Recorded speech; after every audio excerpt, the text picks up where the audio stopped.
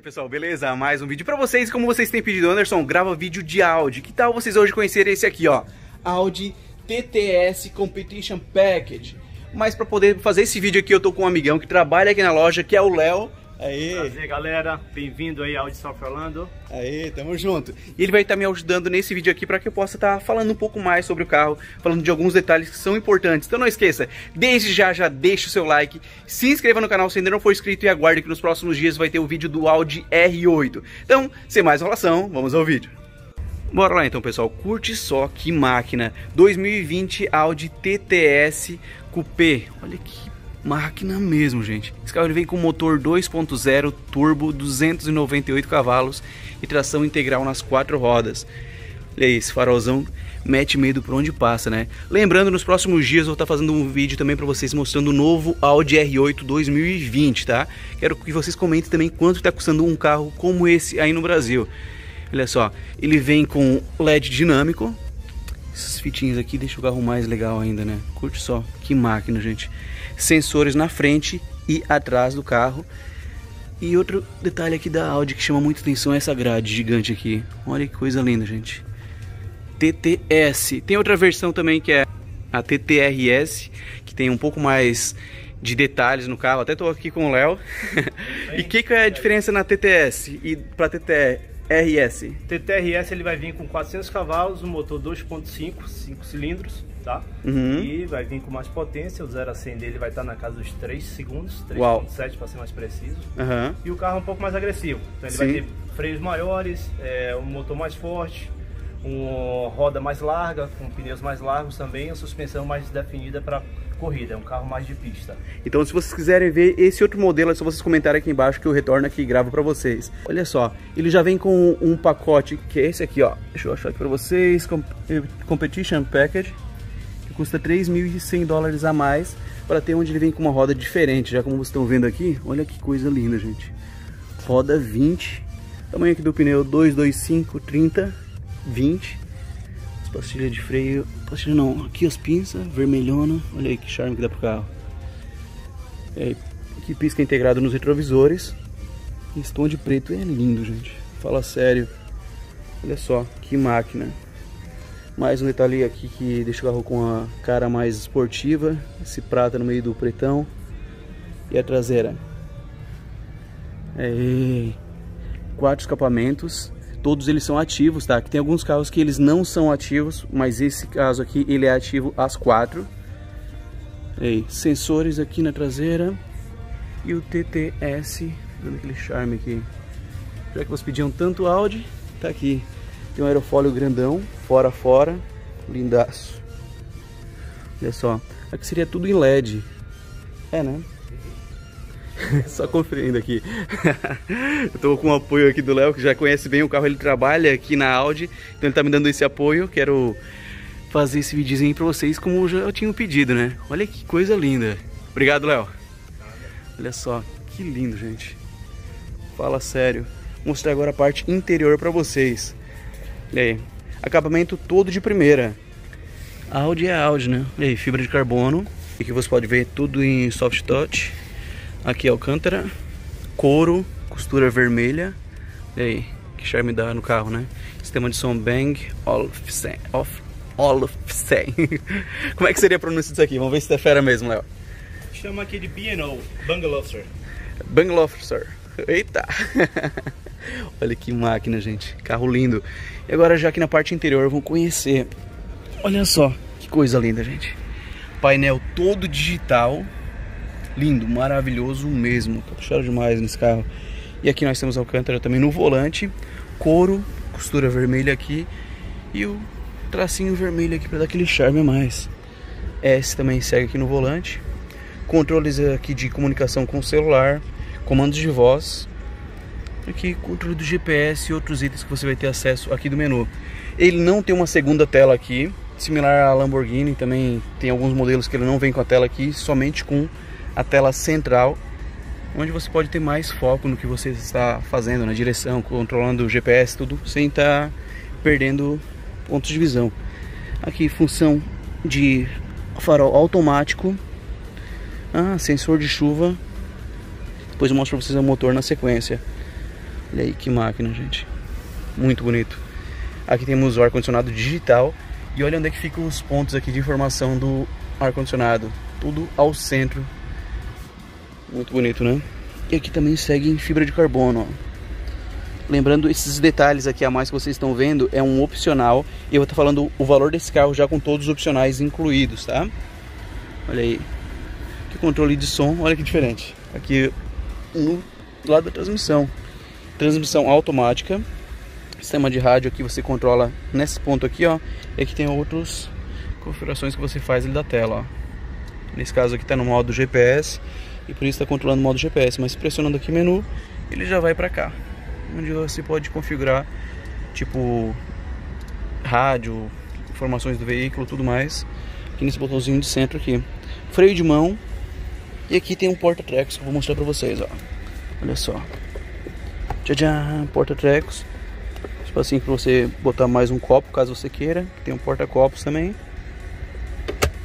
Aqui uma coisa legal. Hum, fala pra nós tem um sistema wireless de carregar o celular. Boa, tá? isso é importante e demais nessa época, né? USB também. Aham, uhum. uma entrada auxiliar. E dois USB aqui. Ah, perfeito, dá pra ver melhor aqui, ó. Olha só. Isso aqui faz toda a diferença, né, Léo? É. O cara poder Carrega colocar o celular, carregar. faz o CarPlay wireless também. Ah, é? Direto? Sem precisar de conexão de fio, nada? Exato. Uau. Nossa, muito top. Esse aqui você desativa as funções do sensor de estacionamento, né? Uhum. Isso. Aqui, ó, do outro lado. Isso aqui é uma telinha também? Ah, Isso aquecimento é do banco. Do, exatamente, você pode aquecer aqui, tem três níveis. Sim. E aqui você abre e fecha, né? É. Aí, porta-luvas. Lembrando um carro zero quilômetro. Ou melhor, zero milhas. Quatro, ó. Olha que top. E olha os bancos, gente. Perfeito. Muito lindo. Todo em couro. Esse couro aqui... Napa Valley. É Napa Valley? Uhum. Pois é, isso quer dizer, diferente de é couro, é uma napa especial. É, exatamente. Com Diamond Stitch, né, que chama aqui. Sim, esses de desenhos aqui é feito. É um design, na verdade, de costura, né? Isso. Isso aqui é legal, tinha na minha BMW. A gente pode regular nos botões ali para dar uma, um pouco mais de conforto aqui nas pernas. Ah, esse aqui aqui só com controle. Ah, tem um botãozinho aqui, ó. Isso. Aí então dá um pouco mais de conforto quando você está fazendo uma direção mais longa. Se você tem a perna mais longa ou mais curta, no meu caso, você pode regular ela para que tenha um pouco mais de conforto na direção. E como é que é a parte de espaço na traseira? Eu vou estar mostrando isso para vocês agora. Então vamos ver como é que é o espaço aqui atrás. Tem essa fitinha aqui, ó, que eu só puxo. E ó, esses detalhes vermelhos aqui também são desse pacote que ele já vem equipado, né? Petition package, Sim. Caso contrário, é um preto piano normal. Também, é. ah, pode personalizar isso também? Você pode personalizar, pode vir com a costura azul e fazer a lateral azul também, amarela. Então, para quem é gremista, pediria em azul. quem já for flamenguista ou do Internacional, vai pedir vermelho. Vamos ver como é que é a questão de espaço. Lembrando, esse aqui é um carro que a ideia dele não é um carro para ser para família, sabe? Para você andar por aí com um grupo de pessoas tudo mais. A ideia dele é ser um carro esportivo que tem um a mais, que é espaço para mais duas pessoas no banco de trás. Lembrando, tem 1,72m. Aqui eu tenho, como vocês veem, o espaço quando se fecha acaba sendo pouco aqui para perna. Porém, dá para carregar duas crianças aqui atrás tranquilo. Até tenho a impressão que está um pouco mais confortável do que o Mustang na questão do espaço nos bancos traseiros. Ó, aqui tem uma gradezinha para você guardar alguma coisa. E aqui atrás segue no acabamento como na frente, ó. Pretinho. Carro lindo, gente. Muito bonito mesmo. Agora eu vou mostrar para vocês como é o capô e também como é o porta-malas dele. Pressionando e levantando. Olha só, isso eu acho muito legal. Quando abre aqui o porta-malas, ele sobe tudo isso aqui, né? Dá um design legal pro carro, né? É legal mesmo. Sim, olha só. Tem um espaço bom, cara. Muito bom mesmo. Não imaginava que tinha tanto espaço assim de porta-malas é, como ele tem. aqui pra cobrir, né? Sim. Nossa, cara. não tem pneu, né?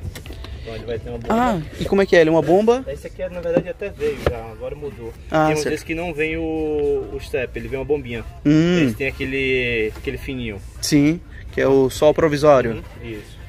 Aí. Ah, mas uh, acaba tendo até melhor, né? Pra não ocupar muito espaço e peso, né? Claro. Aqui uma saída 12 volts. Tá aí. Então, achei bastante espaço. Os bancos aqui de trás, dá para rebater? Dá. Ah, então dá para carregar mais coisas então também. Aí, ó. Quem tá perguntando, já tá mostrando pra vocês, ó. Ah, é, agora sim, tem bastante espaço, ó. Dá pra fazer uma viagem bem tranquila, comprar bastante papel higiênico nessa época do vírus. Nunca vi, né? Dá pra botar um jogo de rodas aí. Se diverte tranquilo. Vai, muda, troca de volta e volta pra casa. Sim. Olha só, gente, que máquina. E agora eu mostrar outra parte que eu não posso esquecer de mostrar nesse carro, né, gente? Que é a parte do motor. Vamos dar uma olhada como é esse bichinho aqui que tá por baixo do escapô. Olha só. É um charme, né? Fala sério. Vamos vendo aqui, o botão aqui, tá aqui. Opa, aqui com uma mão só. Tchadjan. Ah, perfeito. Não precisa nem utilizar a varetinha. Motor TFSI. Olha aí. Os 298 cavalos ficam aqui, gente, ó. Olha que coisa linda. Design lindo demais. Esse motor aqui, ele é muito diferenciado de um outro carro da Audi que eles fabricam? É um motor feito direto para esse modelo ou não? Ele é. Ele vai ser o motor, mesmo motor 2.0 que você vai encontrar no A5, no A4, porém ele é optimizado para ter mais performance, né? Ah, certo. Então, ele vem com mais, ele tem uma turbina maior também. Uhum. A turbina do TTS é um pouco maior, que é, se chama IS38. Uhum. E vai lhe dar esses 300 cavalos nesse motor 2.0 aí. Sim. Nossa, motor muito bonito. Você pode notar aqui que a bateria dele não é aqui, ó. Sim. A bateria desse carro é no fundo. Certo. Justamente para ter uma melhor distribuição de peso. Legal, nossa, é todo pensado, né? Carro lindo, gente. E agora é uma parte que é importante vocês saberem quanto que está custando essa máquina aqui. Vamos ver, olha só. Lembrando, ele está com opcionais, tá? Ele tem duas partes de opcionais, que é o Competition Package, 3.100 dólares a mais. E aqui, ó, Technology Package, 2.800 dólares a mais. Modelo 2020 Audi TTS Coupé 45 TFSI 4. E uma coisa que é importante que eu não posso esquecer de falar, consumo, ele faz 23 na cidade e 29 na highway. Então é um carro muito econômico pela potência que tem. E o valor dele seria esse aqui, ó, 62.690 dólares, sendo que o valor base é 54.500 dólares. E aí, o que vocês acharam da máquina?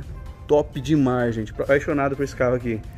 E eu tô deixando todas as informações de contato do Léo aqui embaixo na descrição desse vídeo. Obrigado Cara, obrigado mesmo. Como é o nome da loja aqui para quem quer conhecer? Audi Safra Orlando, a gente fica em frente ao Millennium Mall. Então tá aí. Gente, aguarde até os próximos dias que o vídeo do R8 tá chegando aqui para vocês. Tamo junto, não esqueça do seu like, se inscreva se ainda não for inscrito. Valeu e olha só, vamos terminar bem aqui, ó. Tchau, tchau.